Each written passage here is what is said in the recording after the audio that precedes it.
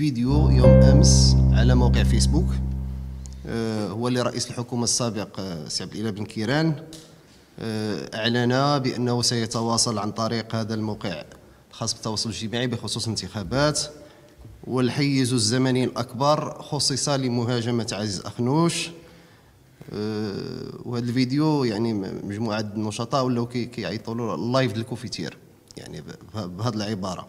أنا ما غنستحضرش كاع الأمور اللي تقالت في الفيديو ولكن كخلاصة آه، سي بنكيران يقول بأنه تشبث بحضور سي عزيز أخنوش في الحكومة وأنه حريص على أنه يتواجد معه في, في, في الائتلاف ديال التدبير ديالو وأنه وزير نشيط وأن التواجد ديالو على رأس وزارة الفلاحة آه، ما فيه ما يتقال في عمومياته كنت سمن على عسل وإلى آخره ولكن بالمقابل يقول إنه لا يراكم رئيسا للحكومه ويحذر من ذلك. يعني ما ما ضروري أن نديروا هذا الشيء هذا اللي وقع باش نشوفوا التعليق ديالو.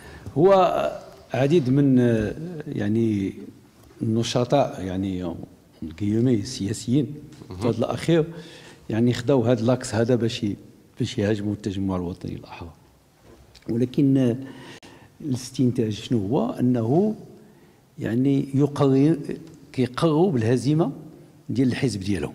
لأنهم مشاو كيتكلموا على شكون هو رئيس الحكومة وشكون اللي يصلح وشكون اللي ما يصلحش. دونك هذا أول مرة كنشوف في الانتخابات بأنه بطريقة ما يعني حزب يعترف بانه يمكن غادي للهزيمة. دابا بحقيقة هاد الهجومات ما ما يمكنش لي نجاوب عليها. أنا بلي كيكون رئيس الحكومة سابق ولا حالي ولا هذا هذه مؤسسات. يجب الاحترام ديالها. إحنا اللي كيهمنا في حقها هو المواطن. أنا أنا كنعرف بأنه الاهداف من هاد يعني هاد الهجمات هذه كلها وداك الشيء هو التشويش.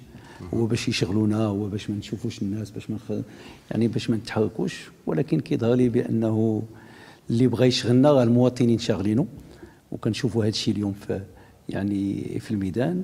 إحنا اللي كيهمنا هو الطريق عند المواطن هو البرامج ديالنا هو اش غادي نشرحوا ليه هو سميتو الشيء الآخر يعني فرونشمون ما ما ما كاين أهمية.